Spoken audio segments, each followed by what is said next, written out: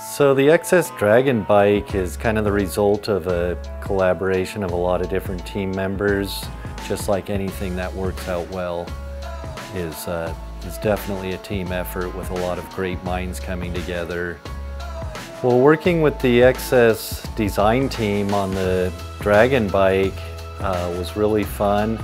We were starting with a completely red motorcycle that we wanted to tie in a little bit of white, a little bit of purple, and some dragon scales somehow. And, and I was just taking some dimensions and studying some ideas.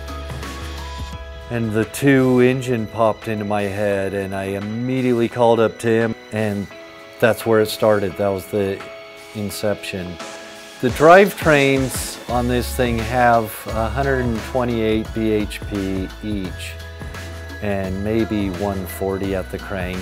After there's a parasitic loss from the chain that's joining the engines and friction, we probably have over 200 horsepower in a 650 pound vehicle.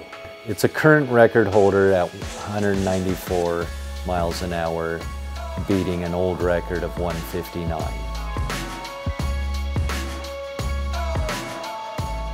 This motorcycle was designed to go 200 miles an hour and I believe I'm fully capable of taking it there.